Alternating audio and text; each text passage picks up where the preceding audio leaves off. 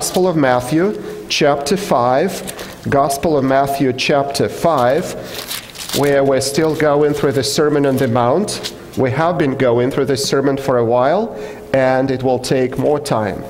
So, Gospel of Matthew, chapter 5, verses 33 to 37.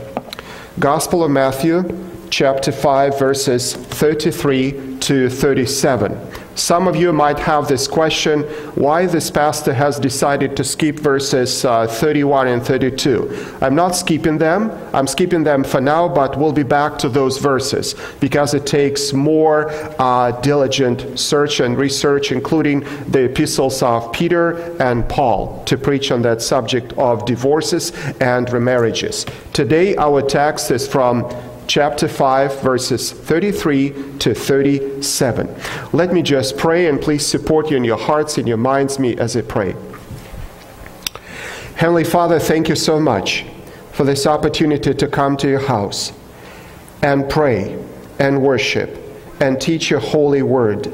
Lord, we're just praying for your supernatural spirit to fill our hearts we're, working, we're praying for the work of your Holy Spirit in our hearts and minds as we're studying this important passage. Lord, just be with me. Guide my heart, my lips, my mouth to say what you need to tell your people. And Lord, we're just devoting this time into your providential care, your wisdom, and discernment. Let the meditation of my heart and the words of my mouth be pleasing in your sight. That's what we ask and pray for in Jesus' name. Amen. So, the title of the message is uh, on the slide A Word is a Pledge, the End of Oaths. A word is a pledge, the end of oaths. Most of our church members are born Canadian citizens, right? But we also have some church members who have become Canadian citizens. And in order to become a citizen of any country, you need to give what? An oath of pledge, yeah, or the allegiance to the queen, to the queen. That's what we had to do as a family as well. Also, in the English language, I cannot speak for other languages. I heard it many times, even in the Christian circles, even among Christians at different churches. People often say, fingers crossed. Have you heard it? And they say, fingers crossed, next Sunday we're planning to do this. And I was kind of uh, baffled a little bit by this expression, by this phrase, fingers crossed. What does it mean? Which book of the Bible is it borrowed or taken from? Fingers crossed. And we have, in any human language, many expressions like that, like different expressions. But, anyways, as an introduction, let me just start with this question How long or since when have people been lying in this world? Can anybody give us an answer? When did people start lying to one another? In the, yeah, somebody in the beginning. Since the first original sin committed by Adam and Eve in the Garden of Eden. You're right. The lies or credibility gaps have existed since the fall in the Garden of Eden and have continually been one of the major marks of this world around us. Satan is the prince of this world, and since he is not only a liar himself, but also the father of all lies. So, Satan, the devil, is called the father of all lies. It's not surprising, should not be surprising for us, dear friends, that the system the evil one heads is characterized by lying by lying. There's lots of lying around us in this world. And so Jesus Christ himself in John chapter 8 verse 44 says, when he was uh, talking to his enemies, opponents, scribes and Pharisees and Sadducees. In John 8 44, he says, You are of your father, the devil, and you want to do the desires of your father. He was a murderer from the beginning and does not stand in the truth because there is no truth in him. Whenever he speaks a lie, he speaks from his own nature, for he is a liar and the father of lies. Very, very serious accusation. And Jesus was so straightforward, he threw those words at the faces of his enemies, those scribes and Pharisees. He told them that they were children of the devil. They were liars, they belonged to the father of all lies. Because all men are born in sin, the Bible, this book teaches that. All men are born liars. I'm not asking you this question uh, whether you've ever told a lie in your life. I'm sure we, we've lied many times. We, we did that many times because in the Bible, both in the Old and the New Testament, we can find the evidence. Psalm 58 3 says, Psalm 58 3 says, The wicked are estranged from the womb. These who speak lies go astray from birth. These who speak lies go astray from birth. Those of you who are parents, you have children. Did your children ever lie to you? Honestly, raise your hands. How about you? When you were a child, did you ever lie to your mom and dad? Raise your hands. I'm sorry, I'm embarrassed of myself, but we did it many times to cover up, to excuse ourselves. In Jeremiah chapter 9, verses 3 through 5, we read the following words Jeremiah 9, 3 to 5. They bend their tongue like the bow, lies and not truth prevail in the land. For they proceed from evil to evil, and they do not know me, declares the Lord. Everyone deceives his neighbor and does not speak the truth. They have taught their tongue to speak lies. They weary themselves, committing iniquity. That was a description from God through prophet Jeremiah about the spiritual life in Israel in those days. Lies, lies, lies. Neighbors were lying to their neighbors. According to the polls reported by USA Today, there's a newspaper in, the, in, uh, uh, in our southern neighbor, Americans, I don't, I could not find statistics about Canadians yet, I hope we're way different from Americans. I hope so, in that sense. So, according to the polls reported by USA Today, Americans lie and are lied to much more than they even realize.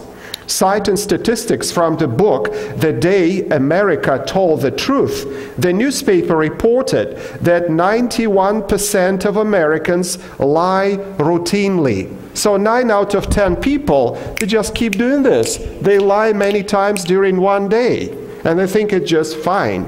For instance, 36% of those interviewed tell dark and important lies. 86% lie regularly to parents. Can you imagine? After the service, when you come back home, look at the faces of your sweet kids. Wow. 86% lie regularly to parents, to us. 75% lie to their friends. 73% lie to their siblings, brothers and sisters in the same household. 69% lie to their spouses. Unbelievable. And we, most of us would, th- would say, well, it's not me. I never lied to my wife. I mean, I'm that good. That's why she still likes me and loves me, and that's why we're still married. 43% lie about their income. That's horrible. Half of the United States almost, they cheat on their taxes. And we might think, well, it's, it's the United States. I just, ah. But Canada is much better. The magazine Discipleship Journal asked its readers to rank the areas of greatest spiritual challenge to them. The results came in this order, as it was horrible, uh, funny and tragically. On the first place, materialism. Second, pride. Third, self centeredness. Fourth, laziness. Fifth, anger, bitterness, and sexual lust. Sixth, envy. Seventh, gluttony.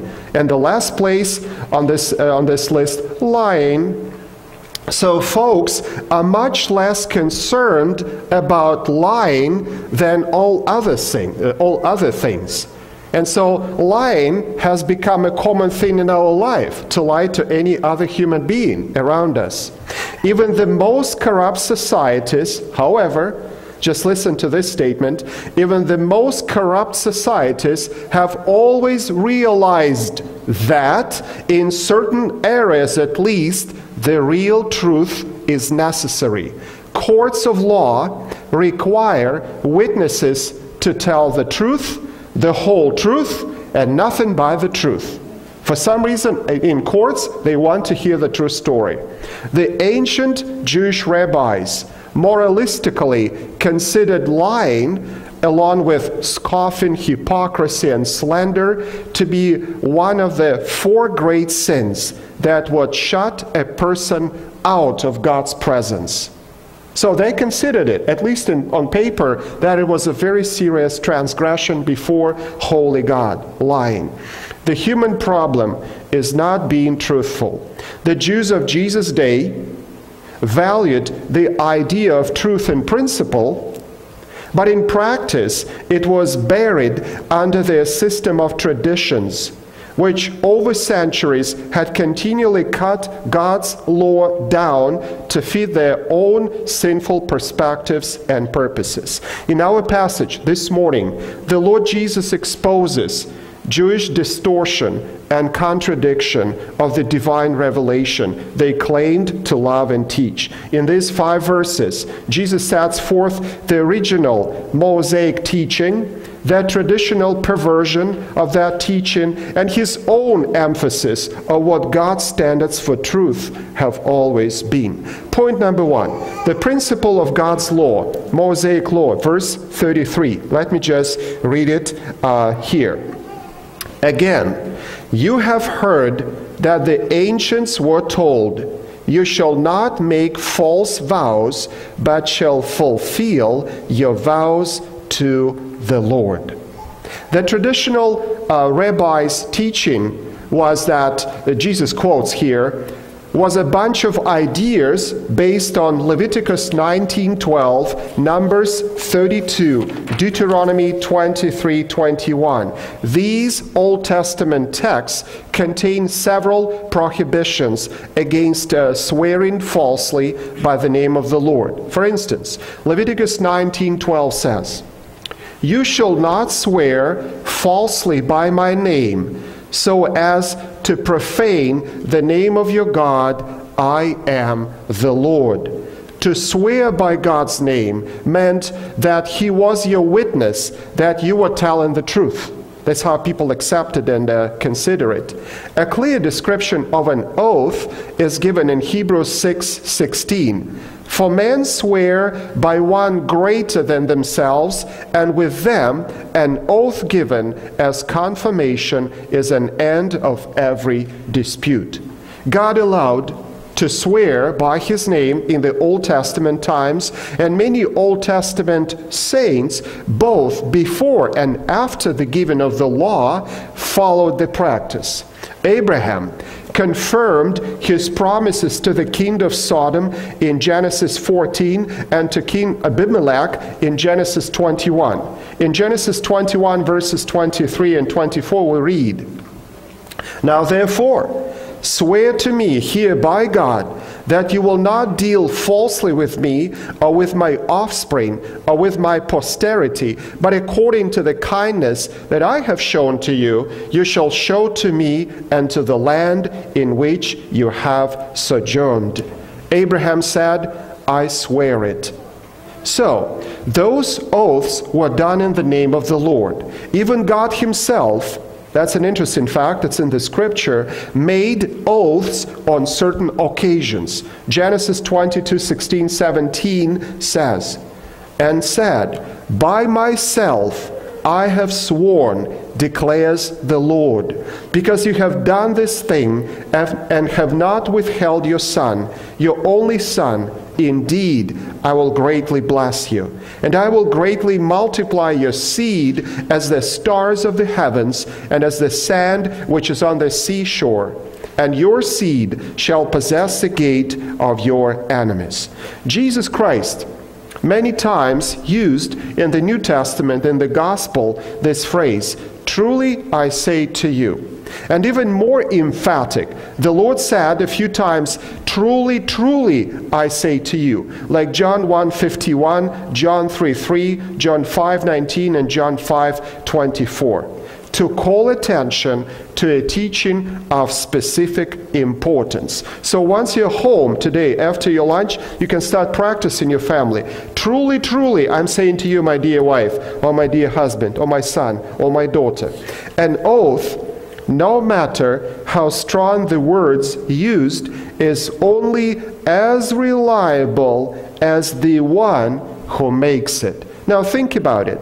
Is only as reliable as the one who makes it. In Matthew 26, verses 69 through 74, we read about Peter, Apostle Peter swearing. The Apostle Peter used God's name in vain. No wonder that he went out and wept bitterly. In Matthew 26 75, we read, And Peter remembered the word which Jesus had said, Before a rooster crows, you will deny me three times. And he went out and wept bitterly. But I remember, I hope you remember, dear friends, how Peter had behaved or misbehaved before his denial. He said to the Lord Jesus, Lord, if anybody else or everybody else would just flee away, just forsaken you, I'm the guy, I'm that apostle who would just lay down your life for you. And he horribly fell. He denied the Lord Jesus three times. By Old Testament law, oaths were to be made only in God's name. Deuteronomy chapter 6, verse 13, Isaiah 65, 16, God established the seriousness of keeping an oath in Leviticus chapter 5 and Joshua chapter 9. So, point number two of this message sounds like this the perversion of Jewish rabbinic tradition. Again, verse 33. Let me read it one more time.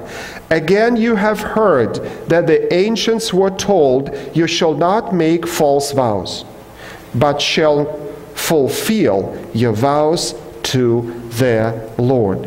Virtually any kind of oath used for almost any kind of purpose was acceptable just as long as it was not false and the person would keep it, would fulfill it.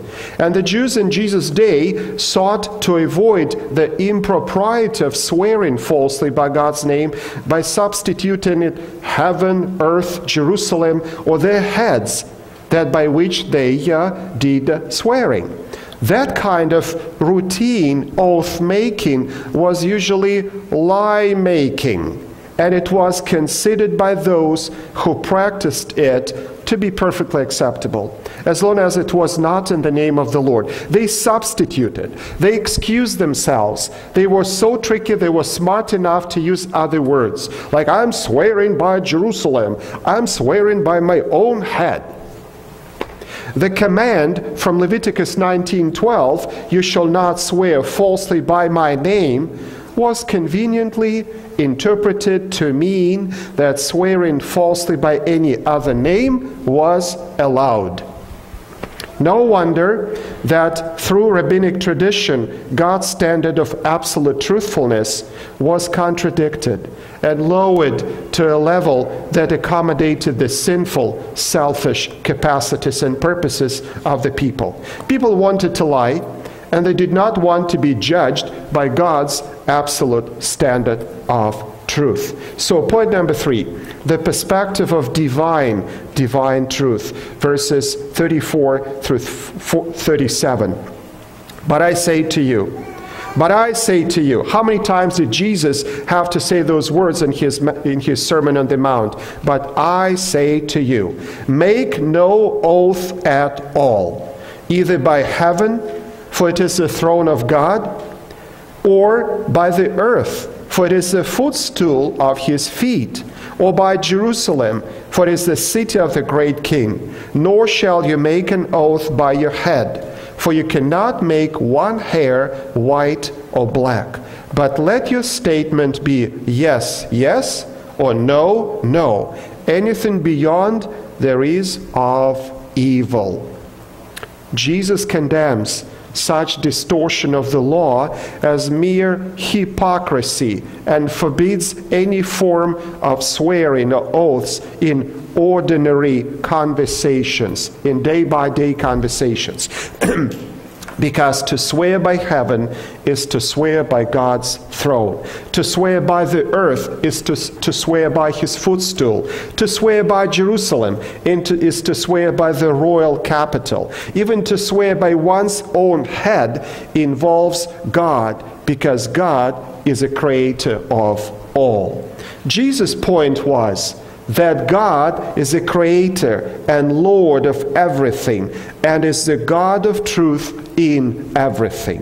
What does it mean for us followers of Jesus, say, living in 2022? Well, it means that our life cannot be divided into compartments in, in some of which God is involved and in others of which he's not involved. That's sometimes, or maybe often, that's how we behave, that's how we live our lives. There cannot be one kind of language in the church on Sunday morning.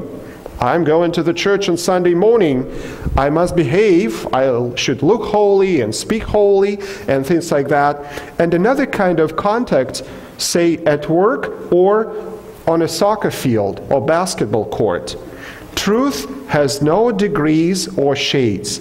And you know, if you go, summer is coming, Lord willing, sooner or later, if you go and just watch uh, kids or adults playing basketball and soccer in summer months, you will recognize many faces, uh, uh, people who come to church Sunday after Sunday. But as you watch those kids and adults playing, oh boy, oh brother, you will hear different English language you probably would not like to hear on a daily basis. So even people who can be church members, whenever they do something outside, they swear. A half truth is a whole lie. Remember what Abraham told about his wife to Pharaoh's officials. She's my sister. Yeah. And a white lie, even can see and read such an expression, hear it, white lie is really black one. God has never had any standard lower than absolute truthfulness. Prophet Jeremiah, again, we have heard his uh, quote already, wept over Israel in Jeremiah 9:3 because lies and not truth prevail in the land. Lies and not truth prevent in the land.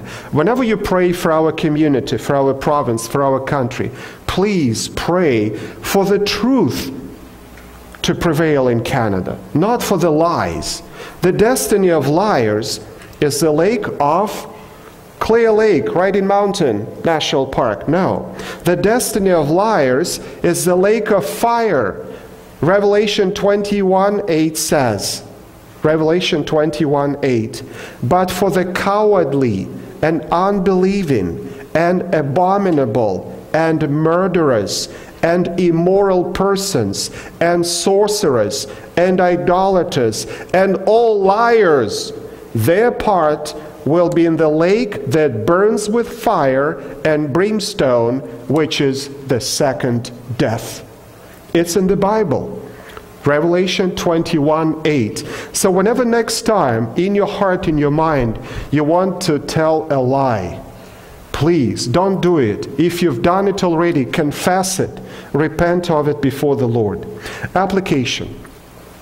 Number one, or conclusion of this text or message God's absolute, unchanging standard is truth and sincerity in everything. That's God's standard for us. If you say that I'm a Christian or I'm a good Christian, then be a person, be a man or woman of truth. Stop lying. Two, for the Christian, an oath is unnecessary. His yes should mean yes, and his no should mean no. No fingers crossed. If it's yes, let it be yes. If it's no, let it be no. There are no circumstances under which it is proper for Christians to lie.